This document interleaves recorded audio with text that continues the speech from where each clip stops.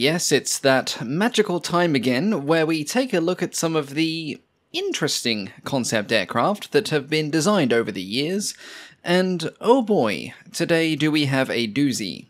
This weaponized frisbee, let's call it, is often known as the Silver Bug, which was designed by John Frost, a talented engineer who spent many years working with Avro Canada, mainly to try and design a revolutionary new VTOL aircraft. This is a deeply interesting topic, which will get its own in depth video in the future, as it actually led to a physical flying saucer that technically flew, the Avrocar, but today we're just looking at the Silver Bug concept. Other projects soon took over that involved Avro Canada, the US Army, the Navy, the Air Force, and even various intelligence branches. But this was the progenitor that led to the rest. Now, this topic takes us back to 1953. At this point, John Frost had been heading up Avro Canada's Special Projects Group, or SPG, for a number of years. Some of his time had been spent working on the CF-100 fighter, which will get its own video as well, but his true passion had been in Project Y. This saw the development of advanced VTOL designs, which were focused around a new radial flow gas turbine, the origins of which could be traced back to research conducted by BMW during the Second World War. Project Y had resulted in the design of an aircraft that looked somewhat like a giant spade. A mock up had been produced, and it has even been suggested that early static engine tests had also been carried out, though I couldn't find enough source material to completely confirm this. But by this point in time, Frost was trying to move on to something better. He felt that the current design of the Y2 program was inefficient, and he began drawing up plans for a fully circular disc like aircraft instead. This would make use of the Coanda effect, which describes the tendency of a fluid jet to stay attached to a convex surface.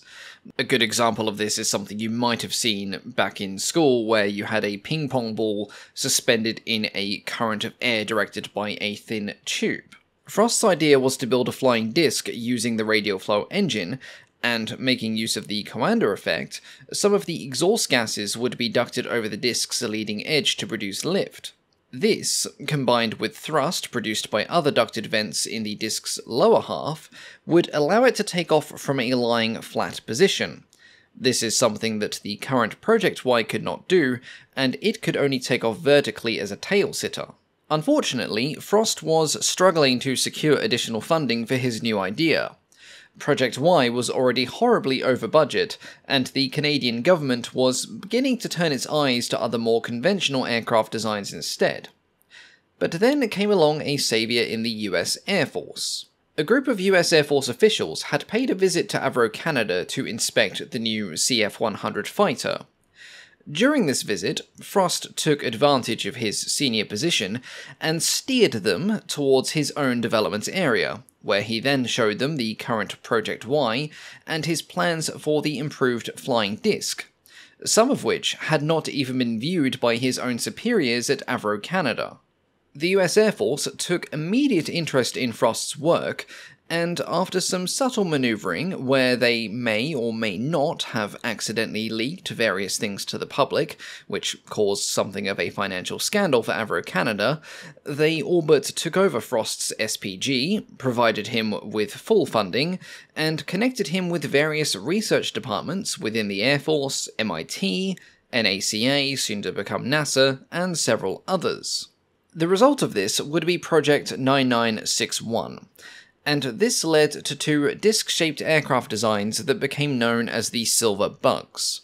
The first Silver Bug was a small one man subsonic VTOL research aircraft, which had a diameter of just 21 feet and 6 inches, or around 6.5 meters. It was to be powered not by the new radial flow gas turbine, but by eight Armstrong Siddeley Vipers, which were axial flow turbojets, which were arranged like spokes on a wheel and would draw air from inlets around the aircraft's centre and duct the exhaust over the edge of the disc. This would be used to refine the aerodynamics of the design and to essentially act as a mini prototype for the second Silverbug. The cockpit was located at the centre and covered by a single piece bubble canopy. As one would expect, being sat in the centre of a giant disk didn't exactly provide the best visibility for either takeoff or landing, and to try and get around this major problem, a reinforced glass panel was to be installed in the floor of the cockpit. Though it was designed without any form of landing gear, it would be later suggested that a series of small retractable legs be installed to both make landing safer and to prevent damage to the underside of the aircraft. Unlike the small test aircraft, the second Silverbug was much larger and far more ambitious. It boasted a larger span of just under 30 feet, and it did make use of the highly advanced radial flow gas turbine. This engine was being developed by Orenda Engines, which was under Avro Canada's Jet Propulsion division. Control of the aircraft would have been achieved by the selective direction of exhaust gases over different parts of the disk's airframe to generate different angles of lift.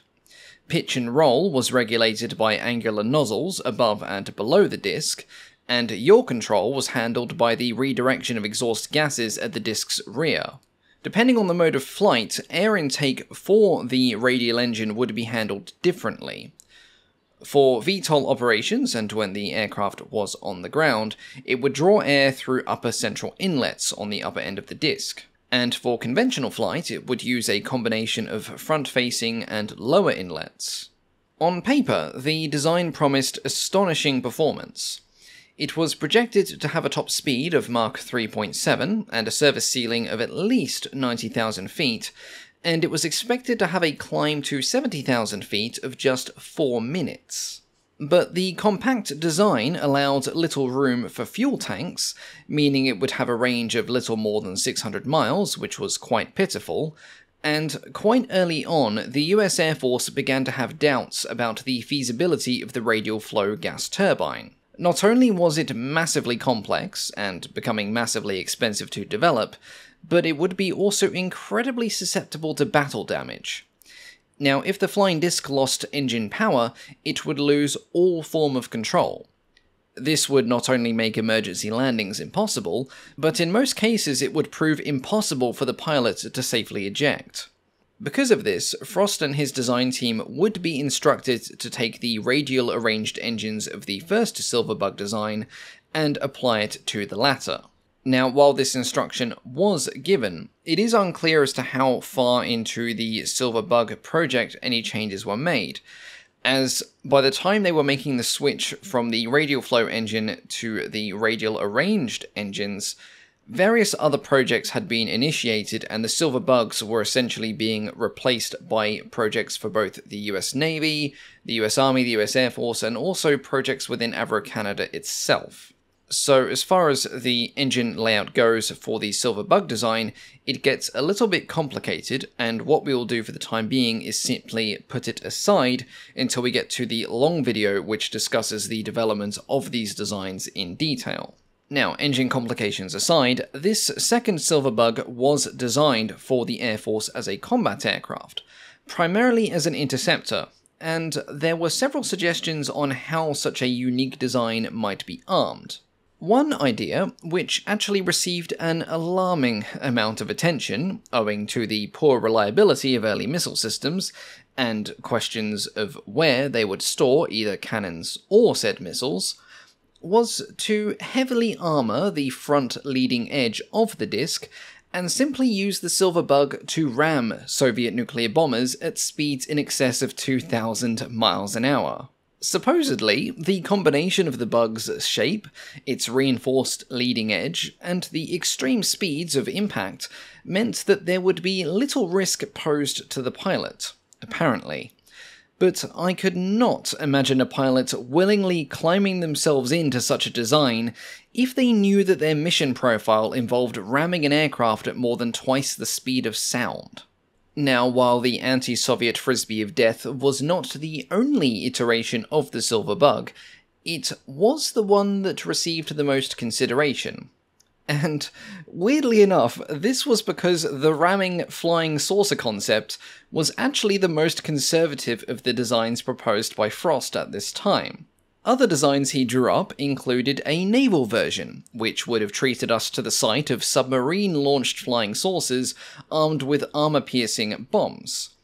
And, continuing the trend of designing weapons best suited for a Tom Clancy novel, he also proposed a giant flying saucer with a diameter of over 100 feet, which could apparently achieve Mach 3 at cruising altitudes of 65,000 feet with a range of 15,000 miles. Intercontinental flying saucer fantasies aside, there was still a lot to be said for many of the theories that Frost had proposed, and interest continued within Canada, the US Air Force, the Army, and the Navy, and several other intelligence branches, including the CIA. This led to the development of several other design projects which sort of splintered off from the Silver Bugs, of which Frost played a major role. Now, many of these would not utilize the radial flow gas turbine, but instead now put a focus on ramjet technology, which was hoped to be more reliable. This would lead to things like Project 1794 and Weapon System 606A, neither of which would leave the drawing board, save for some static testbeds, but it would lead to the development of a flying disc prototype, the Avrocar. But that is a much longer story for another day. If you want to learn more about this particular topic, my recommended readings are as follows. There is Avrocar, Canada's Flying Saucer, the story of Avro Canada's secret projects by Bill Zuk. And there is Secret Projects, Flying Saucer Aircraft by Bill Rose and Tony Buttler.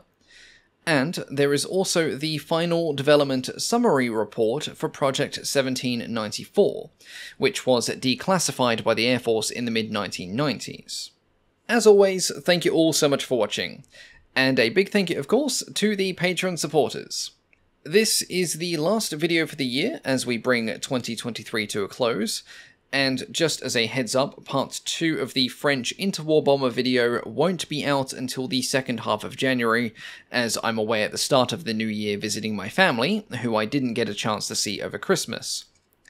Additionally, today's video was not actually meant to be planned as today's video, but I had to release this one earlier than expected, as the video that I had planned for today is being held up due to technical reasons, which I won't get into, but basically, I'm having a really bad string of luck when it comes to solid state drives right now, and let's just leave it at that.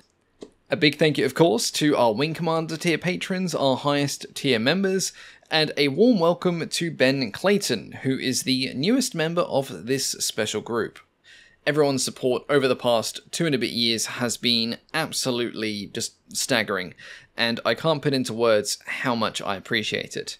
But in the new year, I will do my level best to continue to be worthy of such excellent supporters, and I'm planning to bring some new and highly requested things to the channel in the next few months, which I'm really excited about. So, lots of good things to look forward to. But for now, thank you all so much for your continued support, and I'll catch you all next time. Goodbye.